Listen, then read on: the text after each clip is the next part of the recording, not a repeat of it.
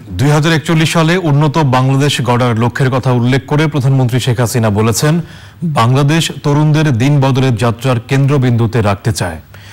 জাতিসংঘের পঁচাত্তরতম সাধারণ অধিবেশনের সাইডলাইনে digital cooperation action today for future generation বিষয় বৈঠকে প্রধানমন্ত্রী বলেন, দুই হাজার ত্রিশ সালের মধ্যে দেশের সব মাধ্যমিক বিদ্যালয়ে ডিজিটাল একাডেমি প্রতিষ্ঠা করা হবে। রিপোর্ট। কোভিড পরিস্থিতির কারণে জাতিসংঘের পঁচাত্তরতম সাধারণ অধিবেশনে বিভিন্ন দেশের সরকার ও রাষ্ট্রপ্রধানরা ভার্চুয়ালি যুক্ত হচ্ছেন।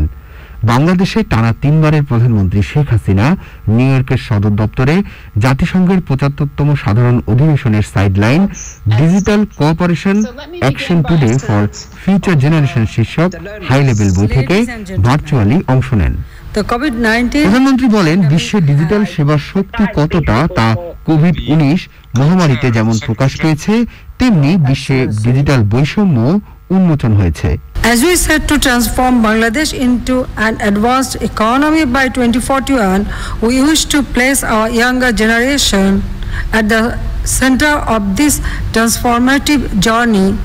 Keeping this in mind, I would like to make the following pledges.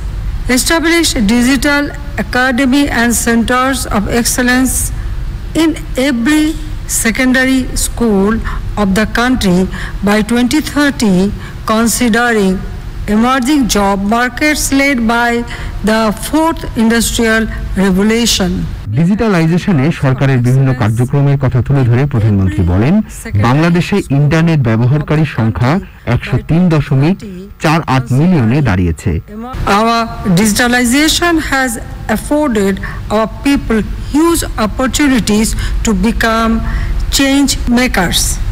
Our focus on digital connectivity has facilitated economic development and catalyzed social changes, including women's empowerment. It is helping SDGs implementation and fight against COVID-19. Virtual এই বৈঠকে বিভিন্ন দেশের প্রযুক্তিবিদরা অংশ নেন এবং তাদের পরামর্শ দেন মিলাদ শেখর চ্যানেল আই ঢাকা